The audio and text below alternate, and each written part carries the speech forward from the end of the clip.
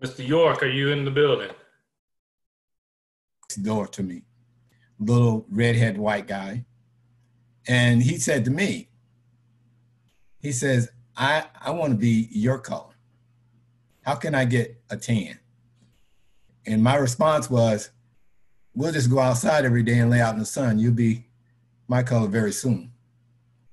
And then that was the end of the color discussion is that he wanted to be like me. Right? So that as as as a child, there's no hate, there's no looking of color to be different. We want to be more alike.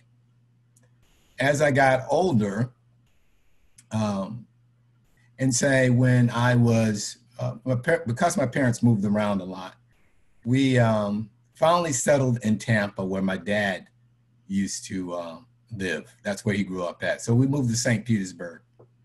We moved into a, a neighborhood that was predominantly white. It was so, it was a newspaper article event that African American family moved into an all white neighborhood. So far, so much to that they actually burned a cross in my yard.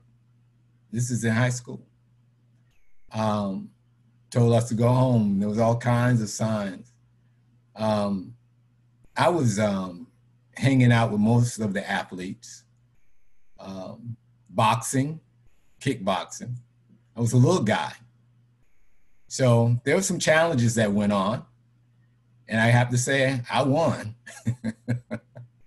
but uh, there was, it was really serious back then. I didn't know how dangerous it really was, but until you look back now and think about what could have happened. And I had a sister. So I had to protect her also. I had an incident once right across the street from my house when I was living in that neighborhood. We were skateboarding across the street. And this lady, she's walking down the street.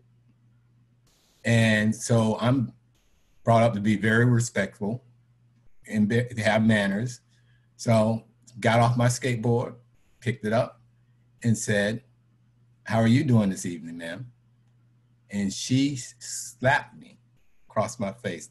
How dare you speak to me? But before she could get it out, it was a reflex. I hit her with a right cross and then realized that I had hit her and that there was going to be some trouble. So I walked right across the street to my house and tell my parents what had just taken place. Here, less than 10 minutes later, here the police at my door. And because my parents had been, you know, pretty savvy, pretty educated around what was what we were going to have to do, uh, and and they knew me. They knew that wasn't I wasn't malicious or to do something like that unless provoked. Uh, so I say this, I, I, tell you these couple of stories of how I was raised and how I know how to um, carry myself in a world that doesn't always respect me or give me the credit that maybe do. Um, I tell you this because of the George Floyd situation, at our employment, we took a stance. I, I had actually the employee resource group. It's the African American Employee Resource Group. It's called Sankofa. I named it when I got there. We told the management team that it was no longer acceptable to be quiet. Something had to be said people were hurting. Because of the pandemic, 70% of the people in Detroit, where we have a site, that were dying, 70% were Black. I had a call center there that's 85% African American. African American. So I run a call center there, and they're picking up the phone, answering people's concerns. They lost their job. They can't pay their medical bill. They need skip-a-pay. So I'm very concerned with the stress level that was actually in the call center for the workers. So I had to act quickly and say, they need some relief. Because that stress now is in their household. They're taking their kids and homeschooling them now virtually. There's no teacher there for them. Now you have to play parent and teacher. Again, no relief. Church is not going on the way it used to because social distancing. And now we're streaming church. So the pastor doesn't have that accessibility, nor can he reach out and hug you and comfort you that way anymore. Again, the stress level builds. So I needed my HR department, which I set up a meeting with them, to understand the level of stress for the African American. Along with Floyd, and that happened um, right after that happened, we had staff meetings with the entire employee uh, base that we were able to set up with AACUC. Actually, let's talk. And what I what I called it, those sessions was, tell me how you feel. Let's keep it real. So no sugarcoating what was going on. Let's talk about systemic racism and let's stamp it out. Right? When you talk about systemic racism, when an African American male goes for a job and say he, he's going to a company that he does not know, but he's up for that job and there's his Caucasian brother next to him that's applying for that job. 90% of the time, the white man is going to be making more money than African American. So if you ask, what was your current salary? They're not paying you what the job is worth. They're only going to pay you what they have to pay you. So then that means that you take on systemic racism because you're never going to catch up. So the same thing happens is when you work internally and you come internally to get an opportunity and you get a entry level salary. So now you can only get a promotion to reach a certain level. It may be 3%, but why should it be 3% if the job level requires you to be a this? So we took that all back to HR and HR started making changes. And they instantly changed um, not asking for the salary. Pay what it is worth so we can make sure that that is not an obstacle there. I want to tell you this that you guys are empowered to make change. When a photographer enters an all white room, and then he, the professional, brings in people of color,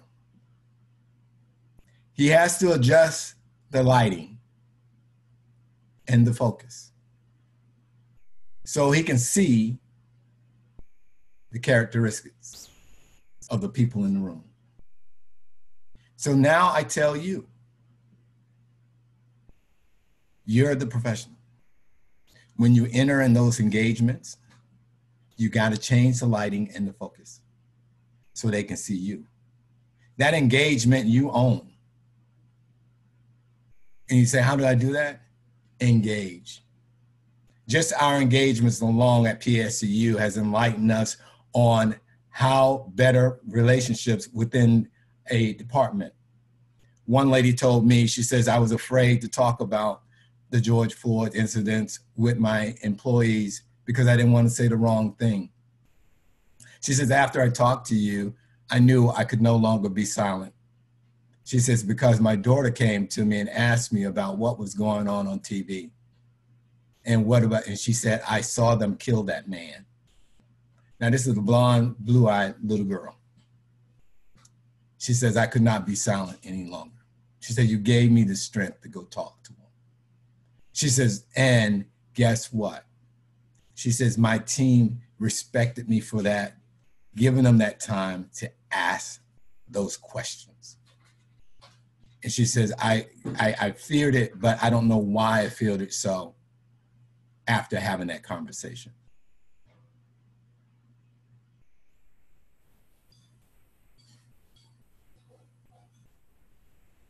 What do you think? Are you guys photographers? Can you change the focus? It's easier than being said than done. But once you actually make that engagement in this environment, people are very receptive. Very much so. Now, I had an incident at one point in time where I was stopped by a police officer. I was about 19, 20 years old in, in South Carolina. And what happened was is that I was speeding. And I had a little red car. So you know, never supposed to have a red car, always gonna get stopped. It was brand new at that, and I was 19, 20 years old. So the guy stopped me and he says, Where are you going? And I had met somebody and they were living in another state. young lady I met on a cruise, so I wanted to see her. And I told him that.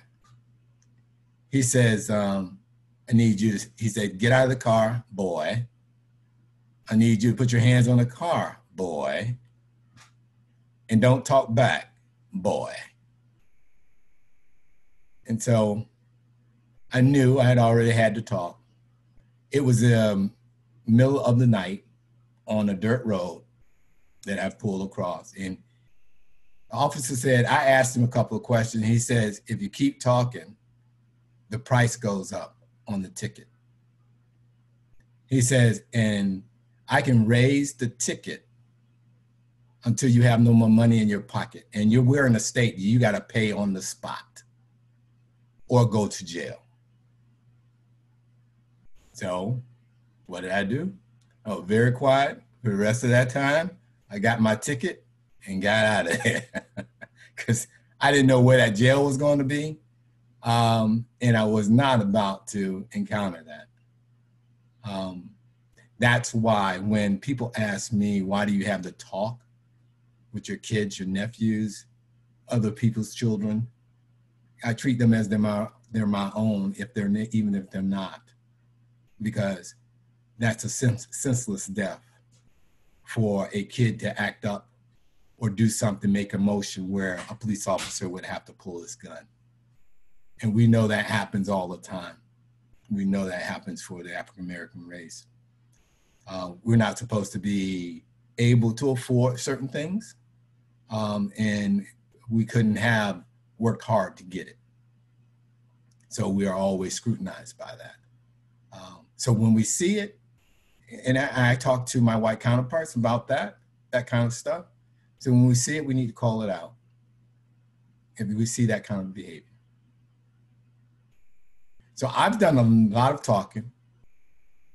Uh, any questions that you guys have for me? Y'all, you can you can unmute yourself if you have a question. I guess Marvin, thanks for sharing, man. That's, that's a lot. Course, um, you know, we live in Baltimore.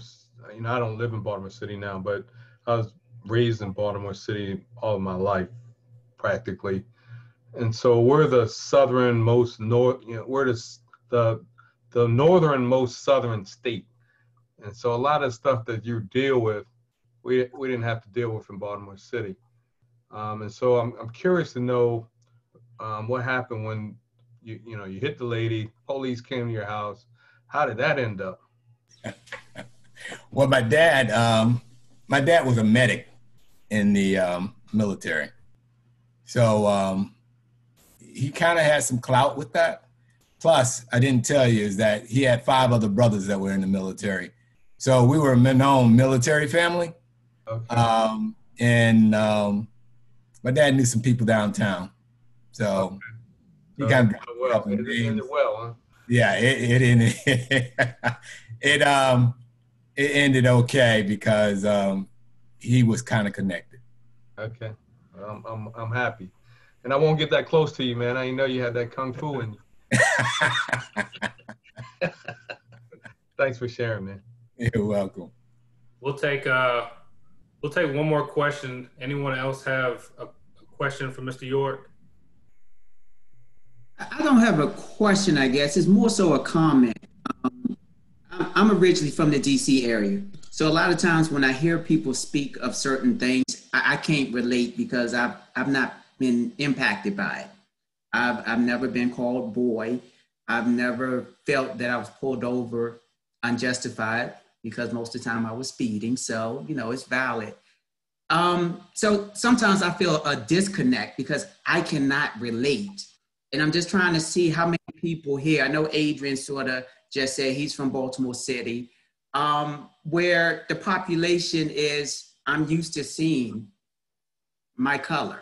Um, I work in Baltimore with Adrian at MECU. So the majority of our staff is 79, 80% African American. So for me, it's just something I, have not experienced and it's difficult sometimes trying to tie in and understand like the challenges you speak of. Yeah, I, I you know, because we traveled a lot, I was born in New York City. I was born in Manhattan. I lived in the Bronx. PS2 is the first school I actually went to. So, you know, I seen I seen the differences. In the South, it is totally different. Um, matter of fact, the police chief here um, told a, one of the pastors that he was afraid when he took off his uniform. So, in other words, blue erases black. As long as he had that uniform on, he was okay. But once he took it off, he was afraid if he got stopped by the police. It's that prominent in the South that that's the way you're treated. It is different. Um, so I say, does blue erase black or does black erase blue? Because uh, there was a YouTube um, session where they showed this FBI agent was the he he was in plain clothes, and the way that they treated him until they pulled his ID out. Then they then it was all of a sudden, um, we're sorry, officer, and he he just told him he says, I'll see you, you, and you tomorrow, because I'm taking you up on charges. Hmm. But it was only because he got let go because he was an FBI agent, and his his rights were violated. Thank you for sharing. And uh, Dwayne, that's you know that's that's a really good question, and um, you know I'm sure we can unpack that a whole lot more, and hopefully over the course of this week, not only for you, Dwayne, but for all of us, really, that something that's said will speak to us in a way uh, where it can connect, and hopefully at some level you will at least be able to sympathize and and and I, and I know you will because I know you personally. Um, but just to be able to say like, wow, you know that that's a real story that's happening to a real person, someone I know, and I think sometimes that's the way we can build those bridges, uh, even if we haven't experienced it personally. So. Um, thank you for that. We've got a couple more minutes, and this is great. And I wish we could keep going, but I, I, I want to be respectful of everyone's time. So let's do this. Um, I told you guys we want to engage you. So Marvin shared a great story reflecting back, I mean, all the way to his childhood and brought us all the way to now. Hopefully, as he was talking, you were reflecting yourself maybe these last few months, or maybe like Marvin, you went back and were thinking of things that happened in your childhood. What I want everyone to do is on the chat right now, if you'll jump in and answer this question. And I want you to be real because if you're like me, if you're if you're if you're if you're not in tune with your emotions, I know we we guys don't always like to talk about it, but this is a safe space and I want you guys to get real, okay? The question is how are you truly feeling? What is your emotional state currently? And if you need to go back a couple of months, we want to know, throw it in the chat, how have you been feeling over the last three, four, five months. Or you can tell us what has your emotional state been. And, and if you need a couple minutes to think about it, that's fine. But um, Adrian said exhausted, drained.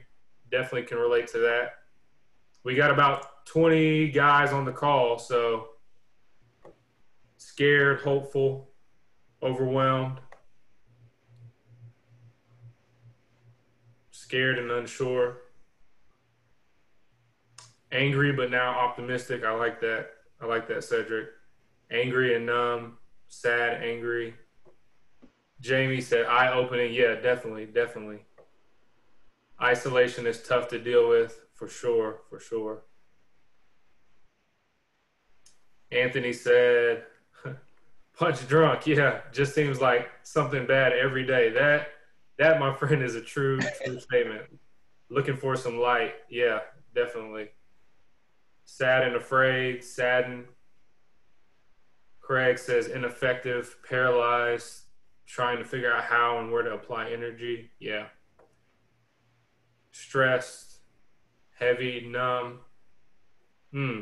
Brent said moving back and forth from panic to inspired and back again. This is good. This is good. And and and I'm not just wanting you guys to put this in the chat just for my benefit. All right, we're we're right here at our time. Let me leave you guys with this. Is um, I, well, first I appreciate you guys being open and honest um, I want you to hold on to this, whatever you posted in the chat, hold on to it. Um, I may even see if I can get a copy of our chat uh, because, again, I want you guys to come back each day because what we're not going to do is stay in, in, in, our state of, of sadness or depression or, ang- or anger, right? The purpose of, of this conference is called commit, Commitment to Change.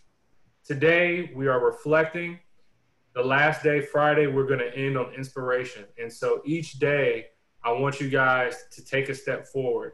Uh, I want you guys to take something away from whether it's what the speaker said or or uh, engagement that we have amongst this group. All right, let's continue this safe space. Um, I'm glad you guys are being reflective and transparent, and we're going to build off of that each day. All right. Uh, Troy Simmons is on the call. He's going to be up tomorrow talking about appreciation because one of the ways we move from having these feelings of sadness, depression, loneliness, anger is to start naming things that we are appreciative for. Some of you said you felt inspired. I'm sure part of that comes from the fact that you're thinking about maybe simple things like the fact that you know you've got running water or hot water. And so Troy will will lead us that in that tomorrow. Hey, uh, thank you guys for being here. Uh, don't forget to, to shout us out on your social media platforms with the various hashtags. If you know other men in your institutions or in your circles, please invite them uh, because we think that this is, well, we don't think, we know that this is going to be very impactful by the time we finish the week out. All right.